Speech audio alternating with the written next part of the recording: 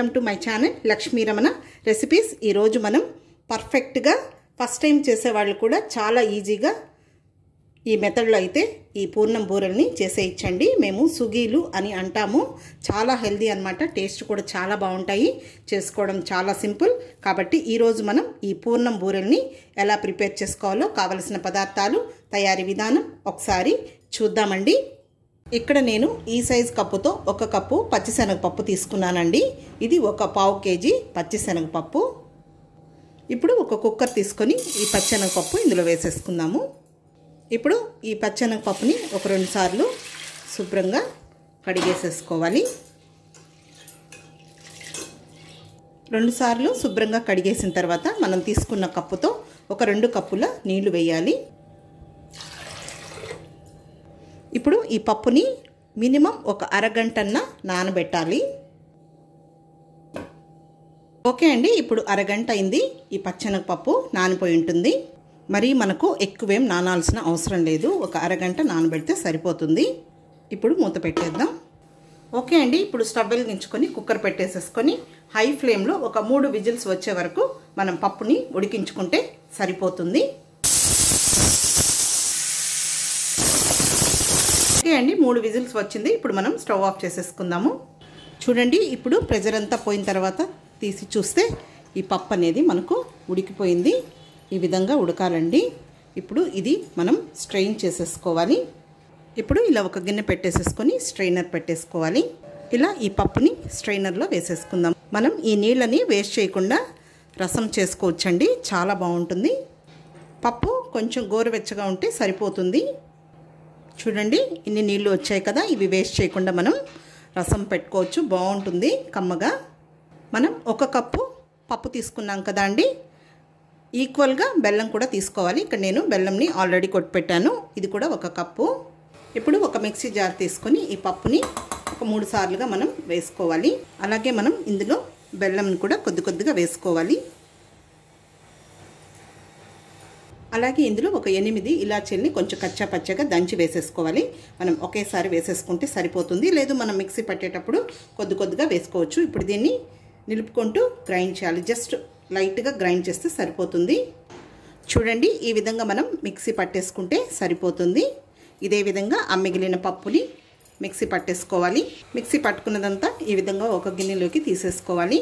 ఇప్పుడు ఇదంతా నేను మిక్సీ వేసేసాను. ఇప్పుడు మిక్సీ పట్టుకున్నదంతా కూడా ఈ విధంగా ఒక ప్యాన్లోకి తీసేసుకోవాలి. ఇప్పుడు ఈ పూర్ణాన్నంతా మీడియం ఫ్లేమ్లో ఒక ఐదారు నిమిషాలు కలుపుకుంటూ ఇలా కొంచెం దగ్గర పడే వరకు మనం దీన్ని కుక్ చేసుకోవాలండి. కొంచెం కలర్ కూడా మనకు మంచిగా వస్తుంది.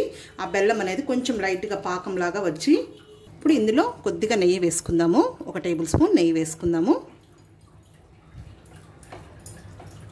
ఓకే అండి చాలు. ఇప్పుడు మనం స్టవ్ ఆఫ్ చేసేసుకుందాము. ఇది మళ్ళీ గట్టిగా అయిపోతుంది. పూర్ణం బూరెల కోసం మామూలుగా మనం ఇంట్లో దోశ ఇడ్లీ చేస్తూ ఉంటాం కదండి దోశ పిండి. మేము దీంతోనే ఎక్కువగా ఈ పూర్ణం బూరెల్ని చేస్తాము. లేదు మైదా పిండితో పూర్ణం బూరెని చేస్తామండి. అది ఈసారి నేను వీడియో అప్లోడ్ చేస్తాను. ఇక్కడ నేను ఒక కప్పు దోశపిండి తీసుకున్నాను. ఈ దోశపిండి అనేది మరీ లూజ్గా కాకుండా చూడండి ఈ విధంగా గట్టిగా ఉండాలి. ఇప్పుడు ఇందులో కొద్దిగా సాల్ట్ వేసుకుందాము. పైన మనకు చప్పగా లేకుండా అలాగే ఒక టీ స్పూన్ చక్కెర వేసుకోవాలి. ఒక చిటికెడు వంట సోడా వేసుకోవాలి. మామూలుగా బియ్యము మినప్పప్పు నానబెట్టి ఈ పూర్ణం బూరెల్ని చేస్తూ ఉంటారు. మేమైతే మా సైడు ఎక్కువగా ఈ విధంగా దోశపిండితో చేస్తాము. ఇప్పుడు ఇదంతా కూడా బాగా కలిపేసేసుకోవాలి. చూడండి గట్టిగా ఈ విధంగా ఉండాలి. మీకు ఈ దోశ ఇడ్లీ పిండి బ్యాటర్ కావాలంటే ఆల్రెడీ నేను చాలా రకాల డిఫరెంట్ స్టైల్లో వీడియో అప్లోడ్ చేశాను. ఒకసారి చూడండి. ఆ పిండితో మనం బూరెలు చేసుకుంటే సరిపోతుంది. మినప్పప్పు బియ్యము అన్నీ వేసి మనం గ్రైండ్ చేసుకుంటాం కదా. చూడండి. ఇది బ్యాటర్ అనేది మనకు నీళ్ళ నీళ్ళగా ఉండకూడదు. గట్టి పిండే ఉంటుంది కదా. అందులోనే మనం కొద్దిగా సాల్ట్ వంట సోడా వేసేసామంటే మనకు పర్ఫెక్ట్గా వచ్చేస్తుంది. చూడండి. ఈ విధంగా ఉండాలి. ఇలా పిండిని కొంచెం బాగా ఇలా మిక్స్ చేసేసుకుంటే సరిపోతుంది.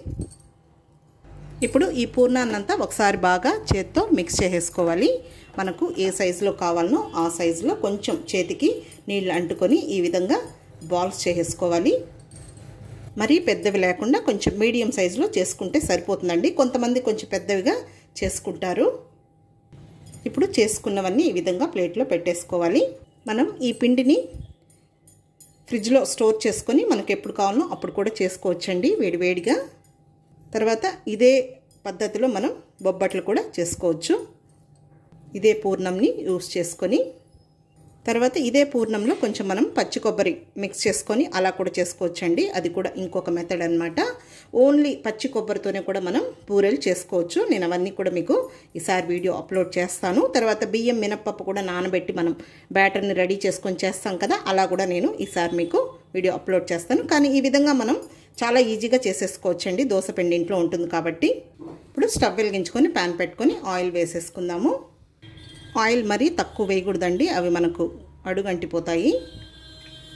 ఇప్పుడు ఆయిల్ వేడెక్కే లోపల మనం చేసుకున్న ఈ పూర్ణం ఉంది కదా ఇది ఇలా వేసేసుకొని పైన పిండి వేసేసుకొని ఇలా డిప్ చేసేసుకొని వేసేయాలండి.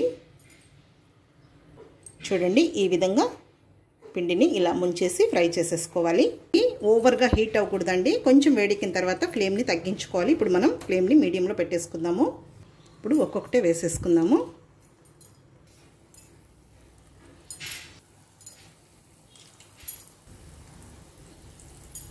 ఓకే అండి. ఇప్పుడు మనం హై ఫ్లేమ్కి మీడియం ఫ్లేమ్కి అడ్జస్ట్ చేసేసుకుంటూ మంచి కలర్ వచ్చే వరకు ఫ్రై చేసేసుకోవాలి.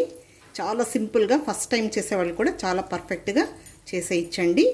మీకు ఇలా పైన కొంచెం గ్యాప్స్ వచ్చాయనుకోండి కొంచెం పిండిని పైన ఫిల్ చేసేయచ్చు. లేదు మీరు దోశ పిండితో వద్దనుకుంటే ఒక బియ్యము ఒక మినప్పప్పు ఒక నాలుగు గంటలు నానబెట్టేసేసుకొని చేసేసుకోవచ్చండి. కానీ దోశ పిండితో ఈ విధంగా మనం ఇన్స్టెంట్గా చేసేసుకోవచ్చు బాగుంటాయి. అప్పటికప్పుడు మనం రుబ్బి చేసే పిండి కంటే. ఓకే అండి వేగిపోయాయి తీసేసుకుందాము. చూడండి మంచి కలర్ వచ్చాయి. ఈ విధంగా ఒక స్ట్రైనర్లో వేసేసుకుందాము చూడండి మనకు పిండి కూడా పగలకుండా నీట్గా వచ్చింది. చూడండి ఎంత బాగున్నాయో. ఇంకా ఇదే విధంగా మిగిలిన పిండినంతా కూడా చేసేసుకోవాలి. ఒక నాప్కిన్ వేసుకున్న నాప్కిన్ వేసుకున్న ప్లేట్లోకి షిఫ్ట్ చేసేసుకోవాలి. చూడండి మనకు పూర్ణం బూరెలు రెడీ అయిపోయాయి. మనకు పిండి బయట రాకుండా చాలా పర్ఫెక్ట్గా వచ్చాయి. ఇప్పుడు డిష్ అవుట్ చేసేసుకుందాము. ఇప్పుడు సర్వింగ్ ప్లేట్లోకి డిష్ అవుట్ చేసేసుకుందాము. మనకు ఆయిల్ కూడా ఎక్కువ పీల్చలేదు. చూడండి. నేను పిండంతా చేయలేదండి. కొద్దిగానే చేశాను. ఫ్రిడ్జ్లో పెట్టేస్తాను. కావాలనుకున్నప్పుడు చేసుకుంటాము. అంతే అండి. చూశారు కదా పూర్ణం బూరెల్ని ఎలా ఈజీగా ప్రిపేర్ చేసేసుకోవచ్చు. మేమైతే సుగీలు అంటామండి. ఇక్కడ కాబట్టి మీరు కూడా ఒకసారి తప్పకుండా ట్రై చేయండి. చాలా బాగుంటాయి. చూడండి ఎంత స్మూత్గా ఉన్నాయో. చూడండి పూర్ణము పైన కూడా క్రిస్పీగా సాఫ్ట్గా. కాబట్టి తప్పకుండా ట్రై చేయండి. ఈ వీడియో మీకు నచ్చినట్లయితే నా యూట్యూబ్ ఛానల్ లక్ష్మీ రమణ రెసిపీస్ని కొత్తగా చూస్తున్న వారైతే నా ఛానల్ని తప్పకుండా సబ్స్క్రైబ్ చేసుకోండి. నచ్చితే లైక్ చేయండి షేర్ చేయండి. ఇంకొక మంచి వంటతో మళ్ళీ కలుద్దాం. నమస్తే అండి.